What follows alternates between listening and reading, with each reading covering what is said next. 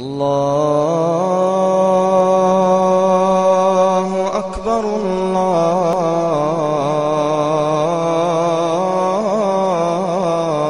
الله أكبر أعوذ بالله من الشيطان الرجيم بسم الله الرحمن الرحيم Вся хвала принадлежит Аллаху. Мир и благословение посланнику Аллаха, его семье, сподвижникам и тем, кто последовал за ним. И далее. Многие люди часто спрашивают о шариатском постановлении относительно дня рождения пророка, мир ему и благословение Аллаха, и связанных с ним обрядов. Например, приветствие встречи пророка, мир ему и благословение Аллаха, стоя. Ответ на этот вопрос следующий. Празднование по случаю дня рождения пророка, мир ему и благословение Аллаха, или кого-либо другого не имеет оснований, является нововведением в религии. Ни посланник Аллаха, мир ему и благословение Аллаха, ни четыре праведных халифа, ни сподвижники и их последователи из числа лучших поколений мусульман, да будет Аллах доволен ими всеми, не проводили подобного празднества. Хотя они лучше знали сунну, больше любили посланника, мир ему и благословение Аллаха, и выполняли предписания шариата совершеннее, чем мусульмане более поздних поколений. Достоверно передается от пророка, мир ему и благословение Аллаха, что он сказал, «Кто принесет нашу религию то, что не является ее частью, то это будет отвергнуто». Он также сказал в другом хадисе, «Придерживайтесь моей сунны и сунны праведных халифов, ведомых прямым путем. Держите за нее коренными зубами и остерегайтесь новшеств, ибо каждое новшество – это нововведение, и каждое нововведение – это заблуждение». Аллах, свят Он и велик, говорит в Коране – Берите же то, что дал вам посланник, и сторонитесь того, что он запретил вам. 59 сура, 7 аят. Пусть же остерегаются те, которые противятся его воле, как бы их не постигло искушение или не постигли их мучительные страдания. 24 сура, 63 аят. В посланнике Аллаха был прекрасный пример для вас, для тех, кто надеется на Аллаха и последний день, и премного поминает Аллаха. 33 сура, 21 аят. Аллах доволен первыми из мухаджиров и ансаров, которые опередили остальных, и теми, которые последовали строго за ними. Они также довольны Аллахом. Он приготовил для них райские сады, в которых текут реки. Они прибудут там вечно. Это великое преуспеяние. 9 сура, 100 аят. А также «Сегодня я ради вас усовершенствовал вашу религию, довел до конца мою милость к вам и одобрил вас в качестве религии ислам». 5 сура, 3 аят и существует множество аятов со схожим смыслом. Празднование Маулида означает, что Аллах, свят Он и велик, не усовершенствовал свою религию для умы, а посланник, мир ему и благословение Аллаха, не передал откровение должным образом.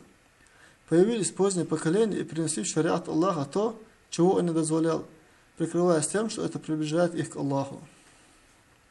Это, несомненно, представляет собой серьезную опасность, потому что создает впечатление возражания Аллаху свят он и велик, его посланнику, мир и благословение ему. Воистину Аллах усовершенствовал религию своим рабам и довел до конца свою милость к ним. Посланник же, мир ему и благословение Аллаха, передал ясное откровение от Аллаха. Не осталось пути в рай, как только он объяснил, как достичь его. И не осталось пути в ад, как только он объяснил, как избежать его. Достоверно передается от Абдуллы бин Амра, да будет Аллах доволен ими обоими что посланник Аллаха, мир ему и благословение Аллаха, сказал, «Всемогущий Аллах не посылал ни одного пророка, не обязал его вести свой народ по лучшему пути, известному ему, и предостерегать свой народ от худшего пути, известному ему». Известно, что наш пророк, мир ему и благословение Аллаха, лучший и последний из пророков, и он пришел самым всеобъемлющим посланием. Если бы Маулид был частью религии Аллаха, то посланник, мир ему и благословение Аллаха, ясно указал бы на это – праздновал бы его, его сподвижники, да будет Аллах доволен ими всеми, также праздновали бы этот день. Но так как ни одно из этих предположений не имеет места быть, то совершенно очевидно, что этот праздник не имеет основ в исламе. Он является нововведением, направленным против посланника, мир ему и благословение Аллаха, и предостережением его умме, о чем сказано в дух в уже приведенных хадисах. Существуют и другие хадисы с похожим смыслом. Например, слова, сказанные пророком, мир ему и благословение Аллаха, во время пятничной проповеди. Самые лучшие слова – это книга Аллаха Всевышнего. Лучший путь – это путь Мухаммада. Худшее деяние – это нововведение. Каждое нововведение – это заблуждение. И существует множество хадисов со схожим смыслом.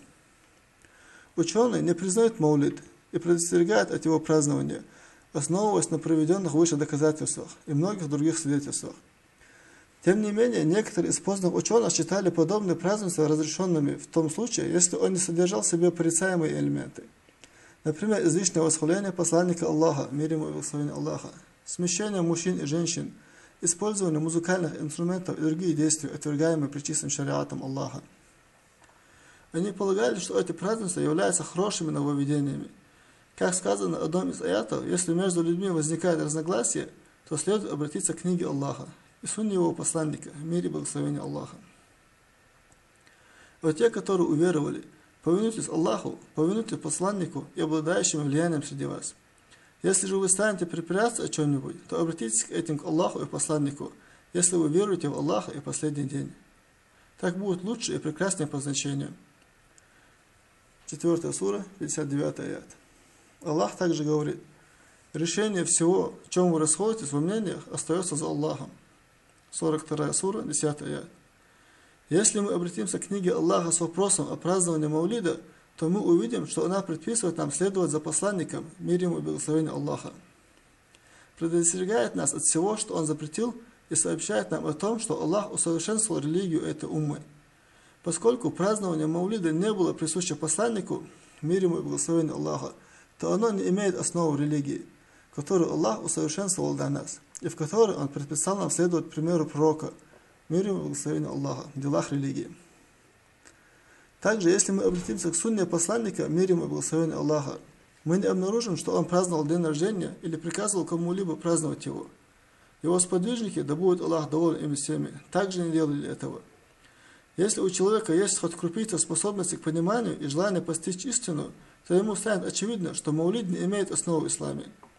Это относится к нововведениям, которые Аллах приказал избегать и остерегаться. Это подражание людям Писания, христианам иудеям, их празднованиях. Разумный человек не должен обольщаться большим количеством людей, которые следуют за этими нововведениями. Правильность, правильность того или иного действия не обязательно определяется по количеству людей, совершающим его. Нет, это определяется по достоверным доказательствам. Аллах приводит слова иудеев и христиан. Они сказали, не войдет в рай никто, кроме иудеев или христиан. Таковы их мечты. Скажи, приведите ваши доказательства, если вы говорите правду. Вторая сура, 111 аят. Аллах также говорит, если ты станешь повиноваться большинству тех, кто на земле, они собьют тебя с пути Аллаха. Шестая сура, 116 аят. Наряду с тем, что подобное празднование является нововведением, в них часто присутствуют запретные действия. Смещение мужчин и женщин, песни игра на музыкальных инструментах, употребление алкоголя и наркотиков и тому подобное. Во время празднования Маулида так называемые аулия и другие люди могут совершать малый шик последствием чрезмерного восхваления пророка, мир ему и благословения Аллаха, вознесения мольбы ему и спрашивания его о помощи и поддержке, веры в том, что он знает скрытое и других актов неверия. Достоверно известно, что посланник Аллаха, мир ему и благословение Аллаха, сказал, «Остерегайтесь излишеств религии, ибо тех, кто жил до вас, погубило излишество в религии». Сахихи Аль-Бухари передается от Умара, да будет Аллах доволен что посланник Аллаха, мир ему и благословение Аллаха, сказал, «Не возвеличивайте меня так, как возвеличивают христиане сына Марьям. Я лишь раб, так говорите, раб Аллаха, его посланник». Парадоксально, что многие люди любят посещать и праздновать эти выдуманные празднества, хотя они исполняют должным образом то, что Аллах сделал обязательным. Например, посещение пятничной молитвы и совершение коллективного молитв. Более того, они уделяют своим обязанностям перед Аллахом недостаточно внимания и не ведают о том, что совершают серьезнейшие грехи. Без сомнения, это происходит по причине слабой веры, малого понимания и большого количества совершенных грехов. Мы просим Аллаха даровать спасение нам и всем мусульманам. Некоторые из этих людей думают, что посланник Аллаха, мир ему и благословение Аллаха, посещает Маулид. Поэтому они встают, встречают и приветствуют его. Это ужасная ошибка и свидетельство полного невежества. Потому что посланник Аллаха, мир ему и благословение Аллаха, не покинет свою могилу до дня воскресения. И он не общается ни с кем из людей и не посещает их собрания. Он будет находиться в своей могиле до начала судного дня, а его душа находится в раю рядом с его Господом. Аллах, свято велик, говорит – После этого вы непременно умрете, а потом, день воскресения, вы непременно будете воскрешены. 23 сура, 15 и 16 аяты. Пророк, мир ему и благословение Аллаха, сказал, «День воскресения я стану первым, над кем раз, развернется земля могилы, и первым из тех, кому будет дано право заступничества». Выше приведенные аяты и хадисы, а также другие аяты и хадисы с похожим смыслом свидетельствуют, что пророк, мир ему и благословение Аллаха, и другие смертные будут воскрешены только в судный день. Мусульманские ученые единогласны в этом вопросе. Это неоспоримый факт. Каждый мусульман должен обращать внимание на такие вопросы и остерегаться бездоказательных нововведений и мифов, рожденных невежественными людьми. И Аллах единственный, у кого мы ищем помощи и на кого возлагаем надежды. Что касается пожеланий мира и благословения посланнику Аллаха, то это одно из лучших благих дел, которое приводит к довольству Аллаха. Всевышний Аллах говорит, «Воистину Аллах, Его ангелы благословляют пророка, вот те, которые уверовали, благословляйте его и, и приветствуйте миром». 33 сура, 56 аят. Пророк, мир ему и благословение Аллаха, сказал, «Кто благословит и поприветствует меня миром один раз, того благословит и поприветствует миром Аллах в десятикратном размере». Пожелание мира и благословения пророку предписано в любое время, особенно в конце молитвы. По мнению большинства ученых, это является обязательным в последнем ташахуде каждой молитвы и крайне желательно суде в различных ситуациях. Например, после азана, после упоминания о пророке, мире и благословении Аллаха, в пятницу и в ночь на пятницу, как об этом свидетельствуют хадисы. Мы просим Аллаха даровать нам и всем мусульманам понимание и приверженность его религии, помочь каждому следовать сунне и остерегаться нововведений. Воистине Он самый щедрый и дарующий наилучший удел. Мир и благословение нашему пророку Мухаммаду, его семье и сподвижникам. Şeyh Abdülaziz İbn Abdullah İbn Baz